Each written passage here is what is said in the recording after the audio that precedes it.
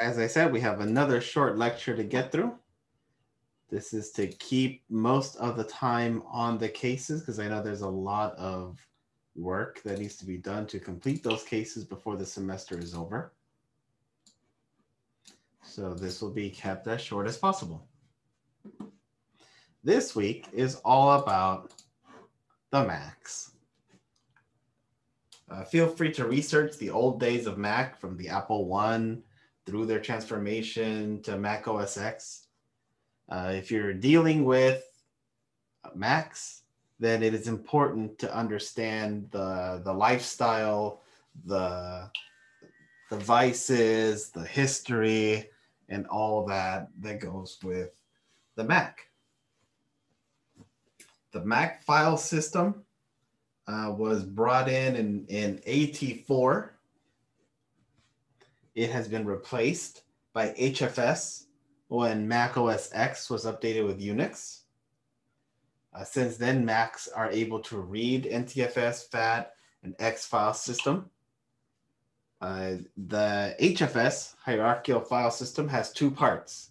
The data fork, which consisted of the data and the resource fork, which is stored uh, the fundamental file metadata and associated application data, similar to NTFS's alternate data stream.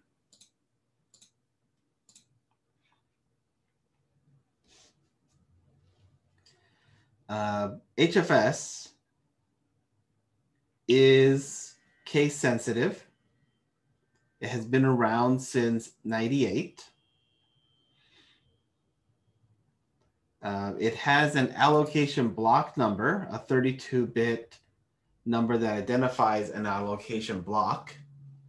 There's a volume header that has information about the volume, time and date of its creation, a number of files stored. The alternate volume header is a copy of the first and is stored in the last 1024 bytes of the volume. The catalog file contains metadata structured as a B tree.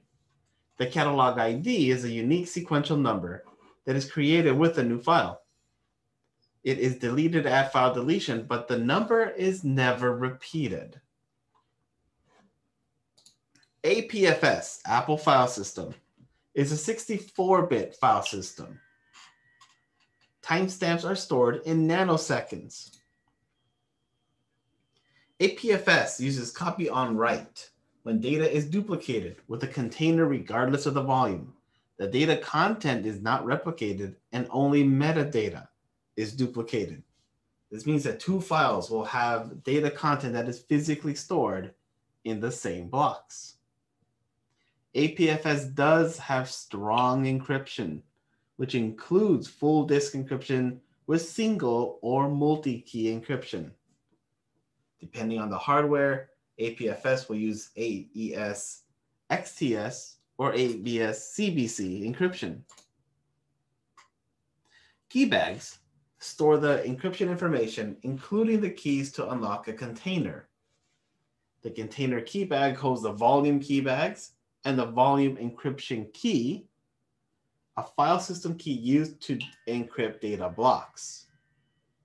Those same key bags can also hold key encryption key that are derived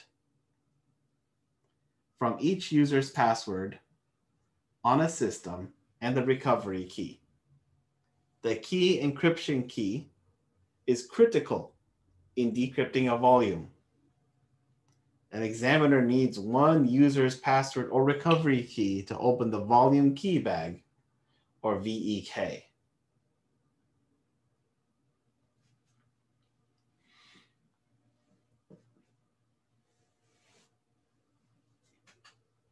Beginning in 2017, Mac devices have a T2 security chip, which has effaceable storage for some encryption information and has a cryptographic engine to conduct hardware enabled operations. These are inaccessible keys that are stored on the chip, which requires interfacing with the chip in order to acquire decrypted information, which means uh, chip write-off uh, will, is much harder. There's also space sharing, which allows multiple file systems to share the same underlying free space on a physical volume. APFS volumes, also called containers, can grow and shrink without repartitioning. A container is comprised of a series of logical APFS volumes, which share blocks from the container. Physical disks combine to form an APFS container.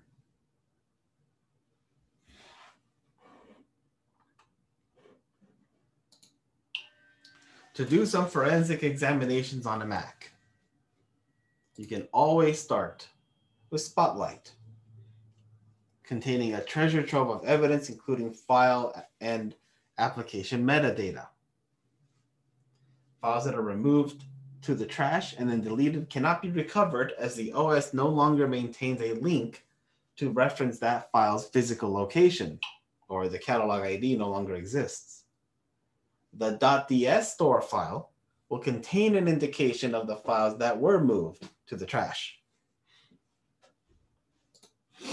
Journaling in HFS Plus is a feature that maintains a backup of user files so that if a system crashes, the last saved copy of that file can be made available to the user. DMG images are an exact copy of a file or a volume, and all the files within can be encrypted. A DMG file in Mac is the equivalent of a DD image and can be viewed as a mountable virtual disk.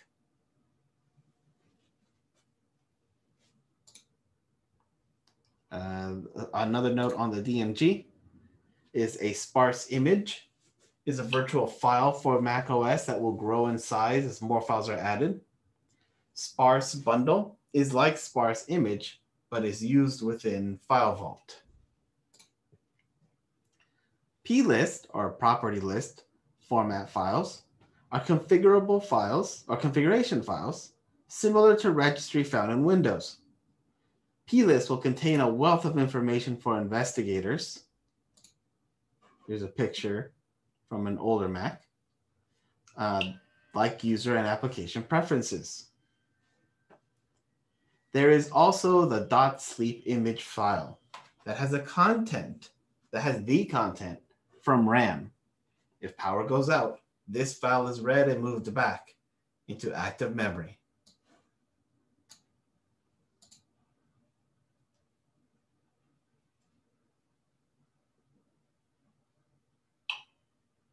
it does look like an older version of Mac, but it's still, uh, plist are still around. From the classic Mac OS in 84 with a GUI and a mouse through all the way to today, having a knowledge of the history and version numbers is important for the specific work, such as knowing that Puma was 10.1 and released September 2001, or Catalina 10.15 was released in October 2019. For this section, as it was written in the book when Catalina was out, that will be uh, the focus. There is a feature called Gatekeeper that enforces code signing for downloaded apps before executing. macOS verifies the developer ID signature to check that the program comes from a recognized developer. There's File Vault. When enabled, there's virtually no helpful evidence that can be retrieved. There is a recovery key that the user is encouraged to save or print. There's also the option to save it with Apple, making contact to Apple worth a try. There's Disk Utility, a tool to conduct disk functions like verifying, repairing, formatting, mounting, and can be accessed through the terminal as disk util. There is the keychain. Uh, it stores passwords in 256-bit AES. It can include other information like a user's credit card. There are tags in the Finder that can demonstrate personalization and organization of files by a suspect. Safari has a number of files like the history plist, downloads plist, cache database, and so on. Similarly to, to Mac OS, yes, Keychain also stores saved Wi-Fi networks. Uh, similarly to macOS, knowledge of the mobile device world and the various nuances of these products is important. For example, mobile devices can be more beneficial as there's more evidence and more personalized data in mobile devices. They are often interconnected in an Apple environment, meaning the same device can be, re- or the same information, same evidence can be retrieved from multiple devices because of the similarities, there is more predictability about what to expect when investigating these devices. Since Apple is in control of the ecosystem, it can be possible to request user data and assistance from Apple. But of course, it's not without its challenges, as Apple encourages users to upgrade to the latest version of iOS, which tends to have significant improvements to security creating more problems for law enforcement retrieving evidence from a device. Now, iOS is formatted in APFS and is divided into the root partition and media partition. iOS is encrypted in AES 256 at the block level. There is a unique device identifier, a 40 digit alphanumeric identifier for each device, hard coded into the application processor, along with the group identifier. Apple doesn't keep a record of this, but it's used to cryptographically link data to a specific device, rendering chip off worthless. Uh, data protection allows the user to receive phone calls, text messages, and emails while the device is locked. And uh, and not decrypting sensitive information. Each time a file is created, data protection generates a new 256-bit key for the file and is sent to the AES engine, which is enabled automatically when a passcode is set. USB restricted mode prevents a trusted computer from unlocking iOS, forcing the user to re-enter the passcode. Every app is encrypted with AES 256 by default.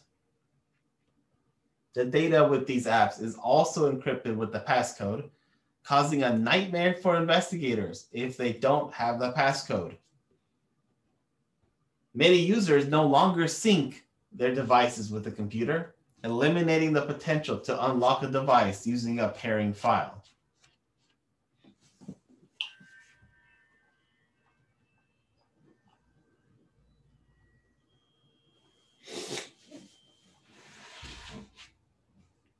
There are various modes of operation from DFU mode to recovery. Uh, there's a process of how it boots up. Uh, face and touch ID, again, it's legally possible for law enforcement to force a suspect to unlock their device via biometrics. Though both information is stored in the secure enclave, it is still legal for law enforcement to force a suspect to use their fingers to unlock or use Face ID. Photographs have geotagging on, so it's possible to plot where a suspect or victim was. Uh, location forensic data can be retrieved from a list of possible places. It is possible to use the SSIDs that were recorded and plot them with wigle.net to map out where the victim or the suspect was. checkm8 and checkra1n are two exploits against the boot ROM which cannot be remotely patched by Apple. It makes a full file system extraction on iPhones and does constitute jailbreaking. checkra1n can do a full system extraction when the password is known or a partial file system extraction when it is unknown. So again, understanding the type of Mac that will be examined is useful. Each model has different ports and will determine the options that you have available to image the device and whether the hard drive can easily be removed. Of course, with later versions, you have the these various components all together. Or even with like the new M1, RAM is part of the system on a chip. So you can't really image memory separately. Determining the OS will provide some guidance as to what security features the examiner may encounter. The hardware and software running on the computer will also impact the investigator, like T2 chipset with secure boot or a file vault enabled or APFS.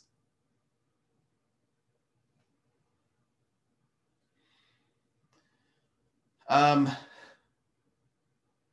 Apple does have a check coverage site where investigators can enter a serial number and determine this, the technical specs of a device.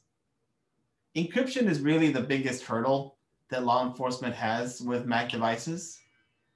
Ultimately, you want to obtain a DMG image of the Mac hard drive and then mount it with read-only forensic tools in order to perform your analysis.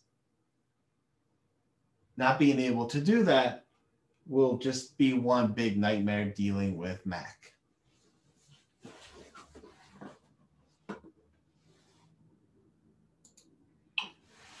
Any questions?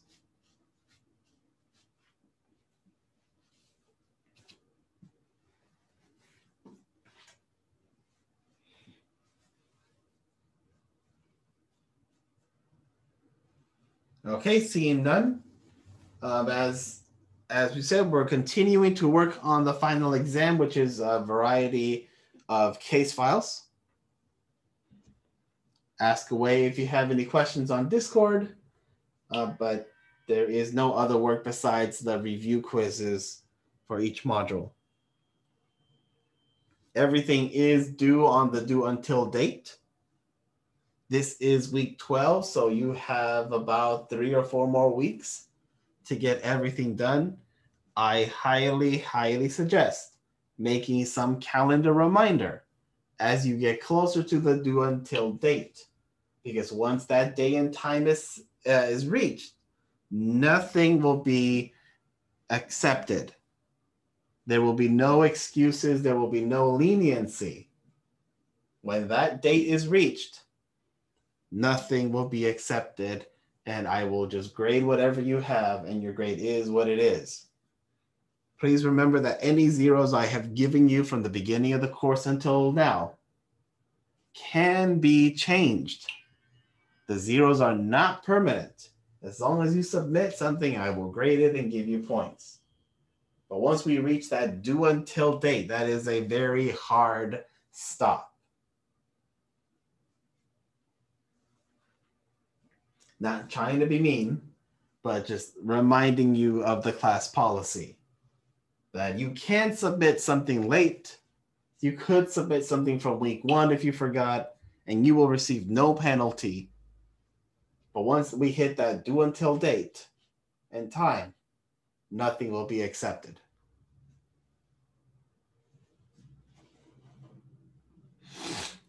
Uh, the next grading period, I'm going to try to do grading um, more frequently as we get closer because students start submitting more more stuff as we get closer to the end.